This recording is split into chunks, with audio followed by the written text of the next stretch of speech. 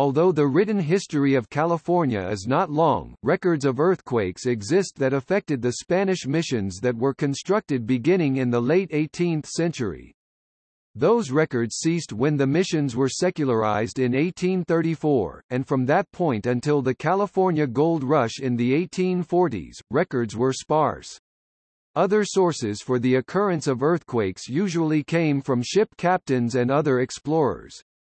The earliest known earthquake was documented in 1769 by the Spanish explorers and Catholic missionaries of the Portola expedition as they traveled northward from San Diego along the Santa Ana River near the present site of Los Angeles.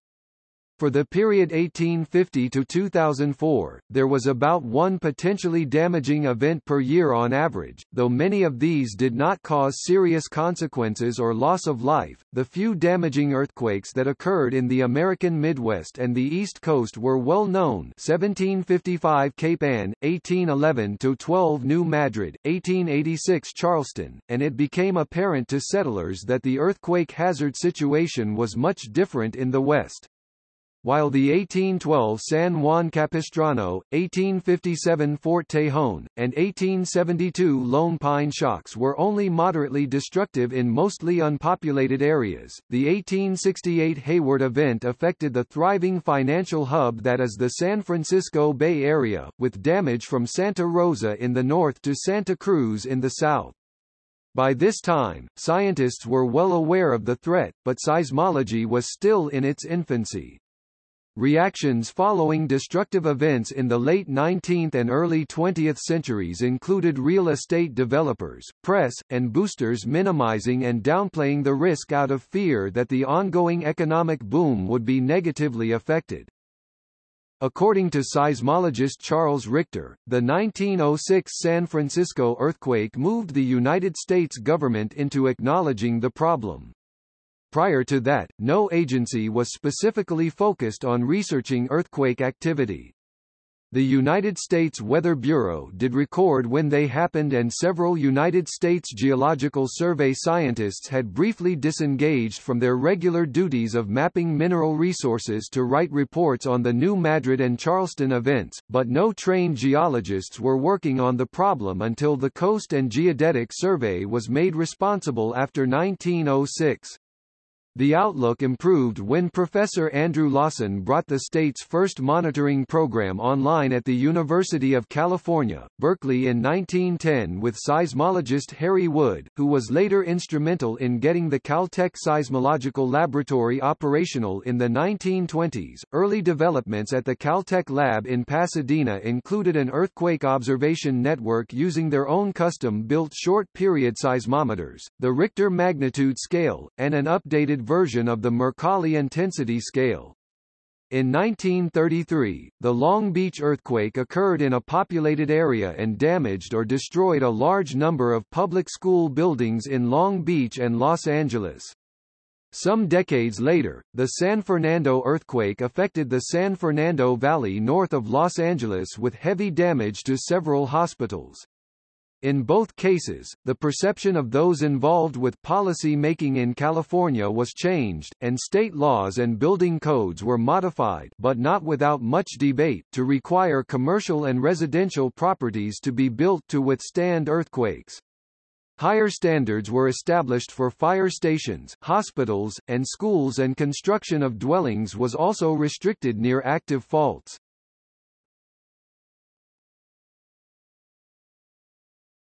Topic: Tectonic setting. During the last 66 million years, nearly the entire west coast of North America was dominated by a subduction zone, with the Farallon Plate subducting beneath the North American Plate. Presently, the Juan de Fuca Plate with its Explorer and Gorda satellite plates and the Rivera and Cocos plates are the only remnants of the once much larger Farallon Plate. The plate margin that remains in California is that of the strike-slip San Andreas Fault SAF, the diffuse Pacific North American plate boundary that extends east into the Basin and Range province of eastern California and western Nevada a seismically active area called Walker Lane and southwest into the California continental borderland region off the central and southern coasts. This system of faults terminates in the north at the Mendocino Triple Junction, one of the most seismically active regions in the state, where earthquakes are occasionally the result of intraplate deformation within the Gorda Plate.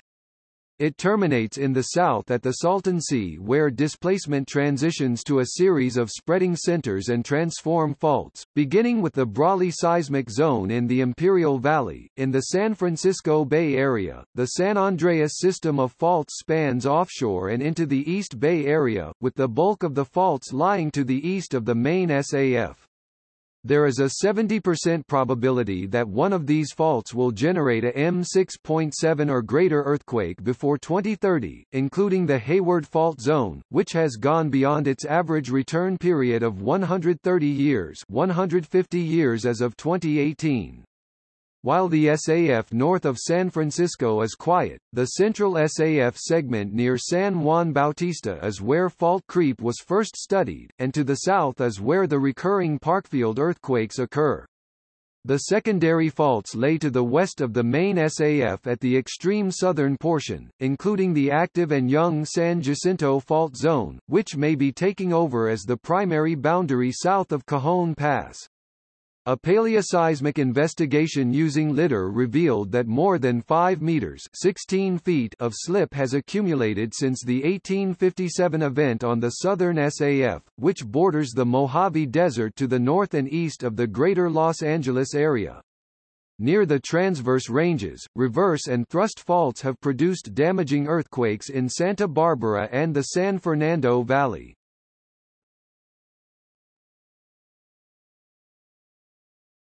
Topic: Earthquakes.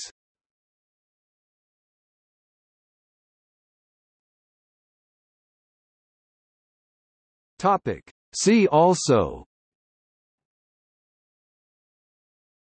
Alquist-Priolo Special Studies Zone Act. California Earthquake Forecast. Field Act.